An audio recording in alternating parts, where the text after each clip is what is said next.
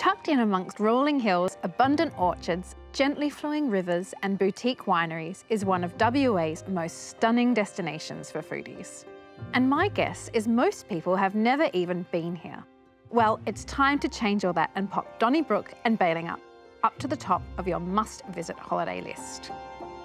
There are simply too many glorious experiences to explore in the region, so I'm here at Park Donnybrook to meet some of the local producers and of course taste some of the local produce. John Small is the owner of Smallwater Estate Winery and a great local ambassador for the produce from the region.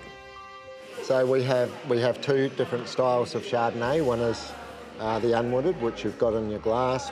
Uh, the marron has quite a delicate texture and flavour compared to, say, crayfish. And this is a very crisp, clean, refreshing Chardonnay, and the two go extremely well together.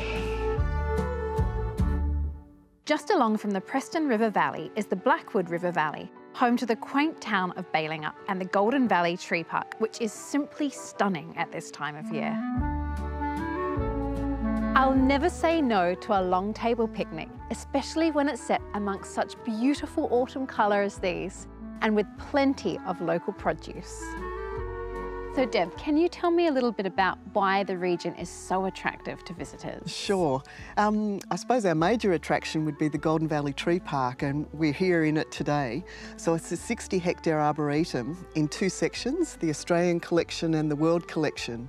So we're in the World collection now with big old oaks, corks, pears, um, trees from all around the world. So there's actually over 300 individual plantings and 500 different species within the park.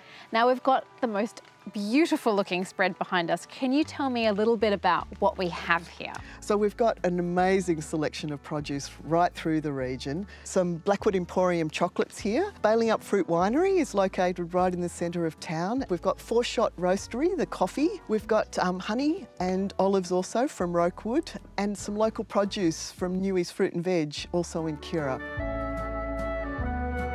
There's so much beautiful produce down here, but of course, the real magic to beautiful produce is the community that surrounds it. I'm going to join them and dig in.